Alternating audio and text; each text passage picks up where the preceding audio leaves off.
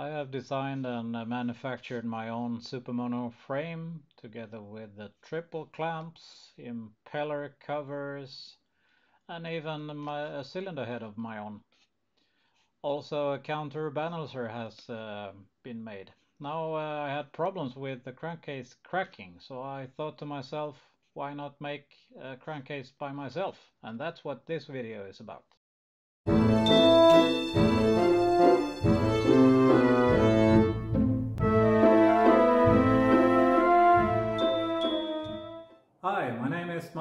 Clementz. As you know, I've been struggling with vibrations in my Supermono engine for quite some time. So I decided to add a counterbalancer over here and uh, that worked really well. Uh, the uh, vibrations were down to a minimum and uh, the engine was really smooth, really nice to drive with. Uh, unfortunately, there were uh, it cracked here in between in the welds, so oil leaked out and I took a nosedive. Um, so that's uh, when I decided that I would like to um, design and manufacture a billet uh, crankcase of my own. And um, as you know, that starts in front of the computer with a lot of CAD work. The OEM crankcases look uh, like this and there's um, a lot of things here for the electric starter and the kick starter that I don't really need so uh, I thought that uh, in this um, process I just might ditch those uh, two. The problem I had uh, from the beginning was that uh, the main bearings um, were damaged. They didn't last more than 5-6 hours. So I put in um, extra tough ones here, uh, double spherical roller bearings uh, that can accommodate uh, the bending of the crankshaft uh, without a problem and that worked really really well.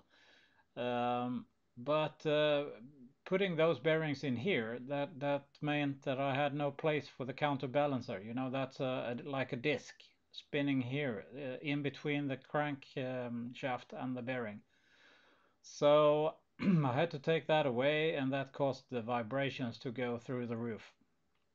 So um, what I did with this one was uh, I uh, designed uh, an additional housing to put in front to have an, uh, a counterbalancer in front of the engine like the, it was in uh, the old models uh, up to 99. so but um, and this worked uh, as I mentioned very very well. But um, I had to weld this housing uh, to um, to the OEM crankcase. And I put a lot of weld here but it, that didn't do the trick uh, actually because it cracked here. Uh, and uh, oil was leaking out uh, through this these spaces here. And that was mayhem altogether but since uh, the solution itself, the concept was working fantastically, so um, I decided to um, to make myself new crankcases. And I started with uh, modeling the right hand side and uh, that's uh, not not too uh, difficult I, I think. I incorporated the housing here you see. added a lot of material here in between to make sure it doesn't crack. Uh, simplified the design a bit to make it uh, possible for my machinist to uh, to do something with. Uh, I'm not sure he agrees that it was so very simple, but still. And I also have I'm grown uh, fond of um, sealing everything with O-rings, so um, I'm doing that also with this one.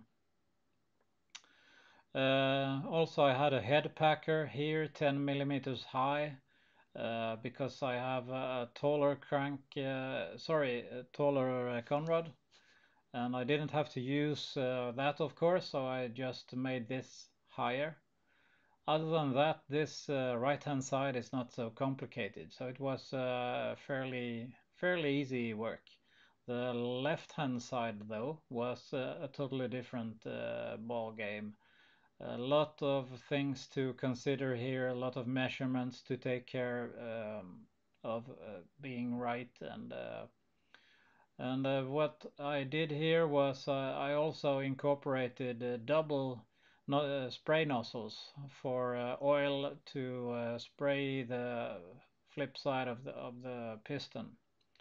And again, an O-ring track here or groove also to make sure that uh, I have oil enough for both nozzles I um, put a, a, bigger oil pump in here. So this groove or this uh, housing for the oil pump is uh, 15 millimeters instead of OEM's 10. Um, so there was uh, a lot of work with this um, and uh, there is uh, also uh, since the housing is a little bit going up here instead of the um, you know the OEMs are not not that going so far uh, there. Um, that makes it possible to carry a little bit more oil and that's always nice.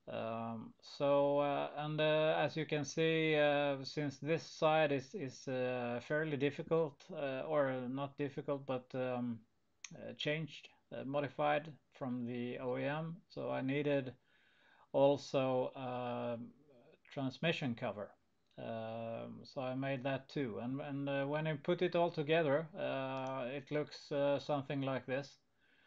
Um, I have done, as you know, the cylinder head uh, from before. Um, and uh, the impeller cover is here. And uh, also the cover for the transmission to the counterbalancer. So, um, yeah, now it's uh, just uh, to keep the fingers crossed and make sure my machinist has some time to uh, to work his magic in uh, one of his uh, five axis machines. Wish me luck.